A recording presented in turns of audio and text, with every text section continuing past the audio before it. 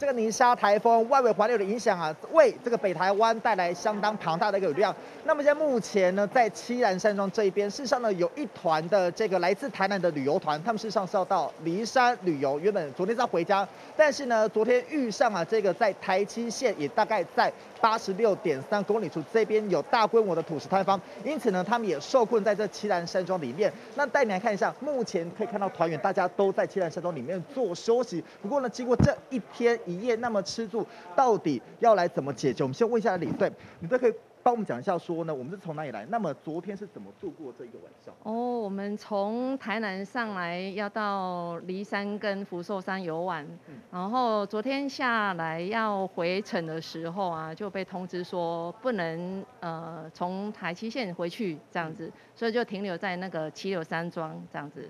对对对，然后七兰山庄呢，对。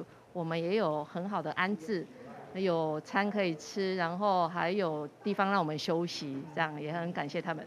是，所以我们昨天是原本下午就要回家。对对对，本本来被困在这边，是游览车没办法下去。嗯，对，现在是游览车都没有办法从台西线回去，对，所以我们就必须现在等开呃抢通。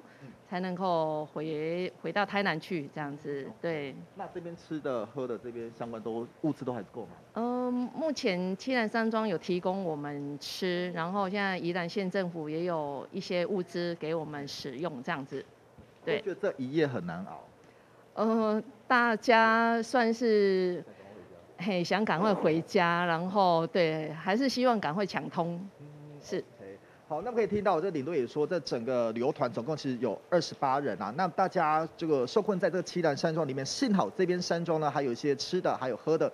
物资都还算是相当的充足，不过可以看到大家呃在这边的一夜啊，事实上可以知道他们在这一边可以先暂时的稍作一些休息。那么现在也期盼说呢，在这个台积线的摊方之处，可以赶快来进行抢通。那么期待在今天能够赶快回家。那么现在游览车的部分要必须经过台七线，那么因此呢，希望道路能够尽快抢通。